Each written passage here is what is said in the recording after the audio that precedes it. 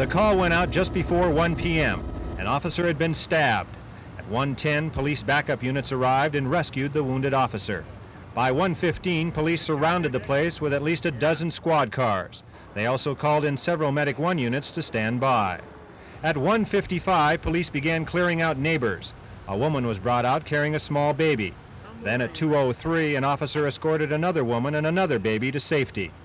In the meantime, officers were trying to locate the suspect's wife. At 3:20, she was brought to the police command post about 100 yards from the standoff. Because negotiations weren't going anywhere, commanders called in the SWAT team. They posted themselves at all of the strategic locations surrounding the apartment. Just before 4 o'clock, police rescued another neighbor. After the rescue, they broke out the front window of the suspect's apartment. And for hours, the standoff continued. Daryl David, Channel 7 Eyewitness News. We want to calm the situation down, reduce the hostage, hostage taker's uh, anxiety level uh, so that reason will take over and emotion die down so that he can uh, become calm and realize what the situation really is. Basically, develop the friendship and trust of the hostage taker or the barricaded man. Let him know that you truly are concerned about him and that you would like him to reason with you rather than meet the other faith, which is the meeting force of the police department.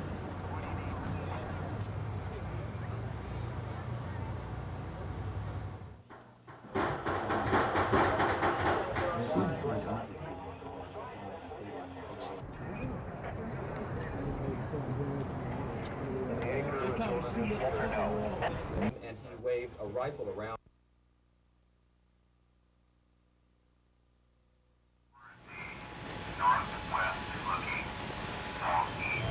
At 5.15 this morning, police reported some movement in the apartment where they believe the suspect was holding out. It was the first time any movement had been seen since yesterday afternoon. A few minutes later, the police went into action. As dawn approached, the building was completely surrounded by an emergency response team, and at 6 a.m., tear gas was fired into the apartment. The police waited outside for Baldwin to come out. When he didn't, the signal was given to make the next move. Stun grenades were flung into the apartment, another attempt to get Baldwin to come out.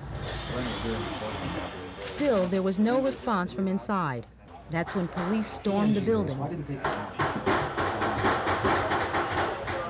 Several rounds of shots were heard, and within minutes, it was over. Gary Flynn of the Seattle Police Department detailed what happened in the building. The individual was inside the apartment and came out one of the officers with a long saber type uh, device. He had uh, just simply waited for somebody to approach him. He took a swipe at one of the officers, hit him on the knee. Uh, it's a very superficial wound, and retreated then again into uh, the bathroom. Uh, stayed in the bathroom until the officers approached him again, and he came at the officers a second time with this saber or sword. And uh, the officers shot him and removed him from the apartment into the police car. He was taken to Harborview Medical Center. Detective Michael Raburn was transported to Harborview just around 1 o'clock. The hospital is only a few blocks from where he was stabbed. From the minute he arrived, his condition was critical. A full-force trauma team fought to save him. The stab wound to his chest caused a severe blood loss, and Seattle police officers pitched in to deliver much-needed blood to Harborview. The fight for Raburn's life lasted close to an hour. At the end, he was in the operating room. 207 today, one of our officers died. Um, he had been on an eviction. Soon after the officer's death was announced, the emergency room was filled with both King County and Seattle police officers. They said they came to comfort each other and to be with Raburn's family. Detective Raburn's family is from Kent. He is survived by his wife Linda and two sons. Tonight, his fellow police officers are also mourning his death, but they're also remembering his contribution to King County. That's true. He'd been on 12 years. Uh, very, very well thought of officer. The King County Police Department is working with the Raburn family to schedule services. Kathy Marshall, Channel 7 Eyewitness News.